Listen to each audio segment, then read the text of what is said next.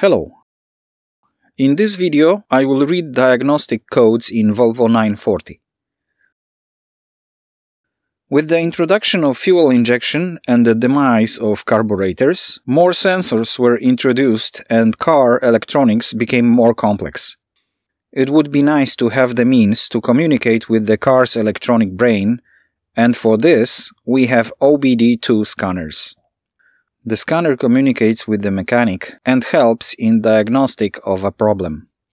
OBD2 became popular in the second half of the 90s. Before that, the system of reading error codes was rudimentary. The basic diagnostics in all cars are control lights and gauges.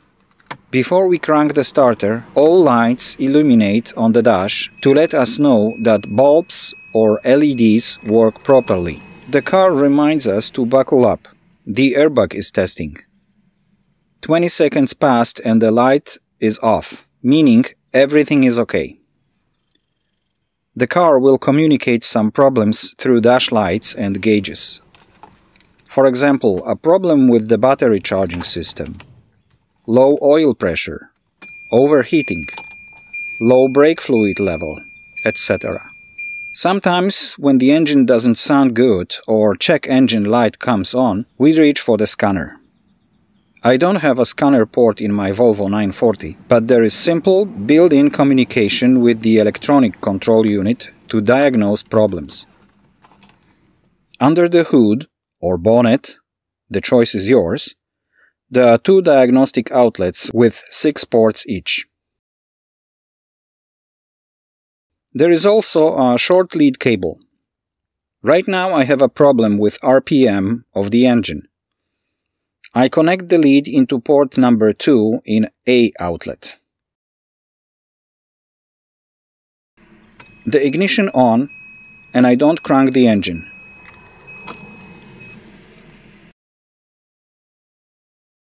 Now I press the button and count to 3. 473. Let go and count. One,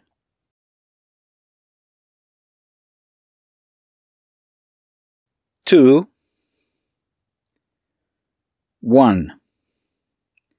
This is the code. There is a maximum of three codes stored in the memory. In the error codes table, 121 indicates a problem with the air mass meter. So I check there and guess what? Somebody disconnected the plug from the air mass meter. Let's fix this problem. And now we will need to clear the code. I press the button for more than 5 seconds.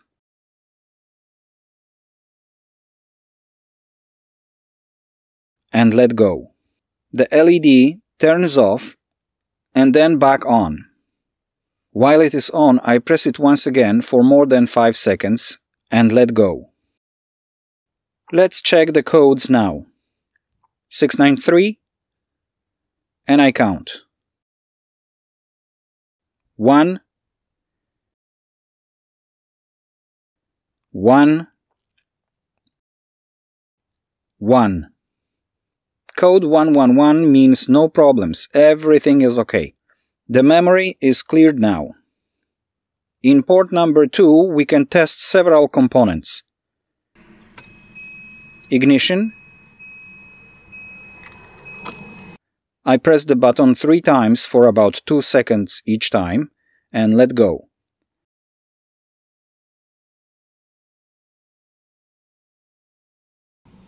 The fan turns on.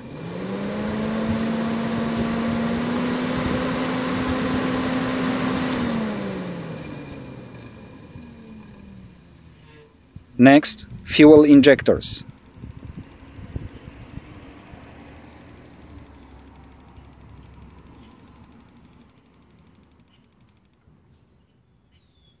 Next, idle air control valve turns on and off.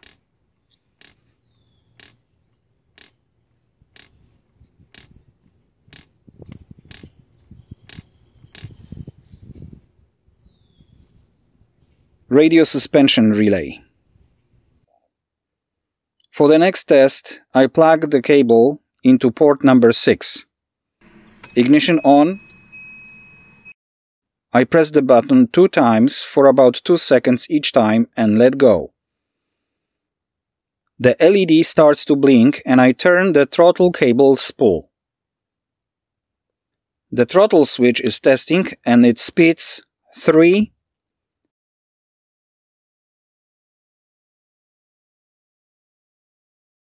3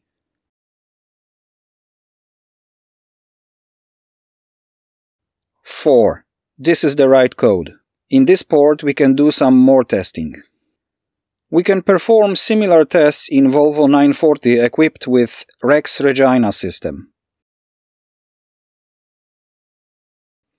This is the ignition coil for the Regina system.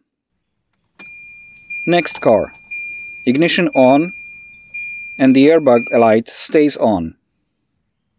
There is a problem. Let's find out what is going on. Behind the ashtray, next to all the fuses, we have port number 24.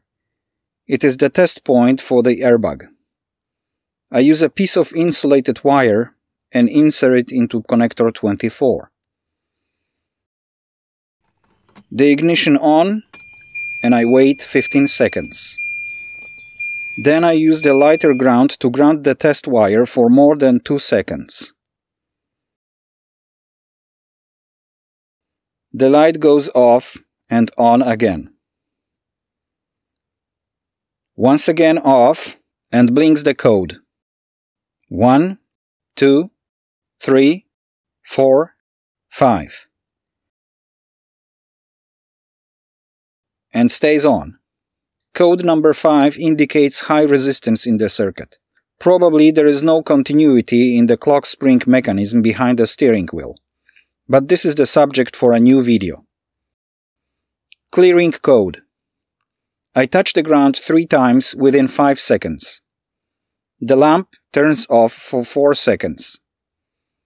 Comes back for 3 seconds and should turn off. But the problem is not resolved yet.